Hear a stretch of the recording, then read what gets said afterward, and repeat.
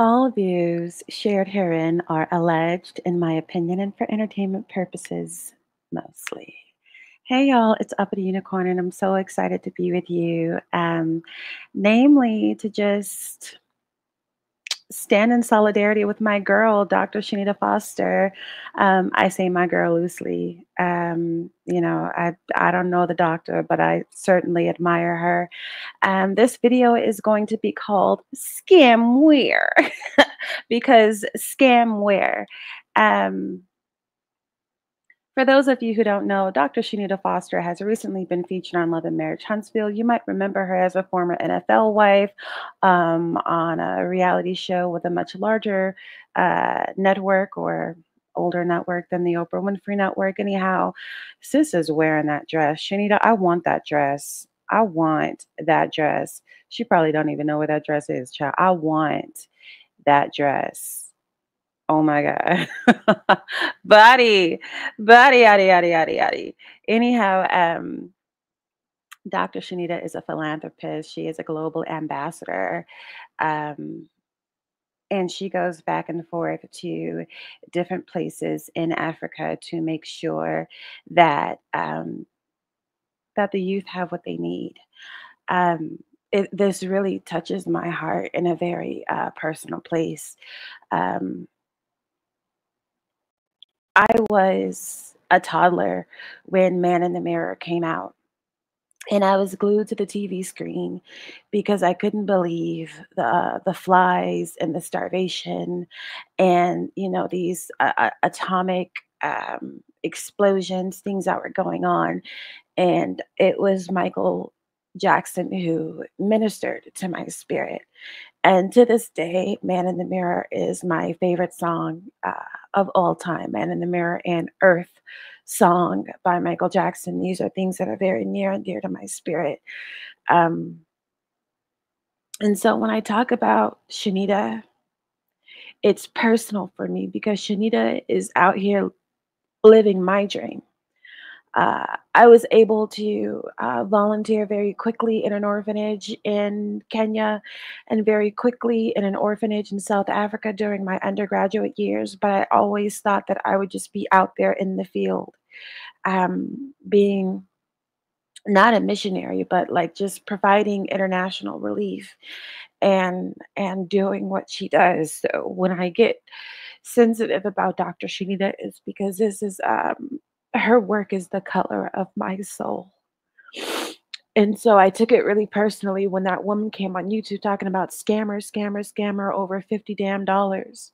Over 50 damn dollars because she didn't quite understand what she was doing or quite read, the fine print about what was going on. And there is a great big Melometer divide over, you know, who's going to believe this girl versus who's going to believe Shanita. And I'm sorry, but does this look like a $50 woman to you? Look at where she's standing. Look at what she's wearing. Look at what she's holding. Like, does this look like a woman who needs to scam your $50? That hair on her head alone is is is a good grand. That Africa medallion on her chest alone. I, I mean that cross, that bag, that watch, like girl, anyhow, I want to get back to the more positive details of the message because Melometers need to stand the fuck up because this is you. This is this is your money at work. Dr. Shanita said, the Melometers are going to build my orphanage, mark my words. And in this video on her Instagram channel, she specifically thanked Queen Sheba Darling in the palace for uh, buying the t-shirts that she's wearing now. It says global change maker. Um, I had someone take me to task for buying a global change maker t-shirt for wanting to be a part of that blessing and a part of that char- charity, but I'll get to that in another video because I mean this this video should just be beautiful all, all the way through. So this is the construction. Shanita didn't think this would be done for another year, but because the Melometers were activated, y'all, this is what you've done.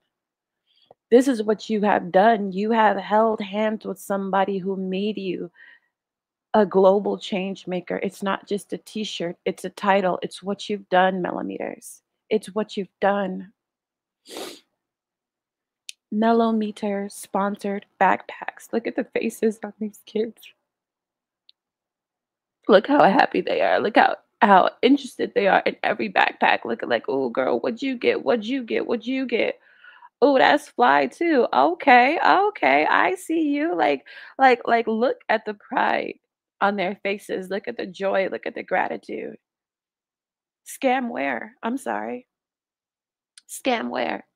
You don't like how the coach talked to you because she's a coach? you, you don't like her attitude? You don't like the way she says says things to you? You don't like that non-refundable uh, deposit fee of $50 for coaching? Okay, that's fine, but scam where? Look at her million dollar ass out there in red clay in, in red dirt in a tent. You you can't tell me nothing about the doctor, honey. You can't tell me nothing about the good doctor, honey. Not Dr. Shanita, you can't. Um, Shanita just had a birthday. Melody's birthday is tomorrow, um, 11 11. But Shanita is also a Scorpio, I believe, and she just had a birthday.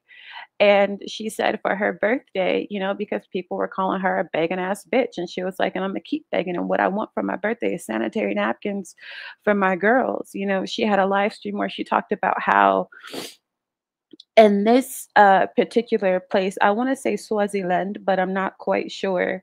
Uh, and I don't want to, you know, look, look at Shanita holding that chicken, holding that chicken. holding that chicken. Anyhow, um, she said, All I want for my birthday is sanitary napkins for the girls. And she talked about how, you know, a period shouldn't be a punishment and how there are girls who end up just not going to school while they're on their period because they can't afford sanitary napkins and the way that you know um, blood menstrual blood is treated in their society. You know shanita would talk about how when she's on her period out there she has to burn her sanitary napkins or whatever she uses. And i remember telling her uh, when i was in kenya and even when i go to certain like east african homes based on how close they are to their culture every pad i use i would have to get up and go to the dumpster and throw it away, whether I was in America or Africa, just because of the way that certain people feel about menstrual blood. And so when I tell you these little girls, these little kids, these these 8, 9 and 10 and 11 and 12 and 13 and 14 year old girls get their period for the first time and they don't know what to do because they don't have you know, especially if you've got a heavy flow, you know, wear, wearing a little rag ain't gonna cut it.